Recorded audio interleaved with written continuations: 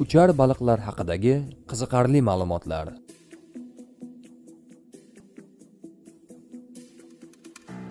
Dunyodagi eng noyob baliq turlaridan biri bo'lgan uchar baliqlar okean va dengiz suvlarida hayot kechirishadi. Ushbu baliqning hozirgacha 70 dan oshiq turi aniqlangan. Uchar baliqlar turiga qarab 15 santimetrdan 50 santimetrgacha uzunlikda bo'ladi. Ularning rangi ko'k kulrang bo'lib suvda yirtqichlardan yashirinish uchun juda qulay rangdir. Ushbu baliqning boshqa baliqlardan eng katta farqi bu suvdan tashqarida ucha olishidir. Ular suv ostidan katta tezlikda suzib chiqadi va suzgichlar yordamida ucha boshlaydi. Uchar baliqlarning parvoz vaqtidagi tezligi soatiga 30 kilometrdan 80 kilometrgacha bo'ladi.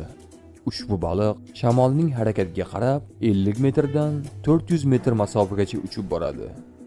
Ular uchayotgan vaqtda harakatlarini boshqara olmaydi. Shu sababdan bu baliqlar ko'pincha kemalar va qayiqlar ichiga tushib qoladi. Hozirgi kungacha olimlar ularning nima sababdan uchishini aniq aytib bera olishmagan. Taxminlarga ko'ra bu baliqlar ommaviy ko'chish davrida shunday qilishadi.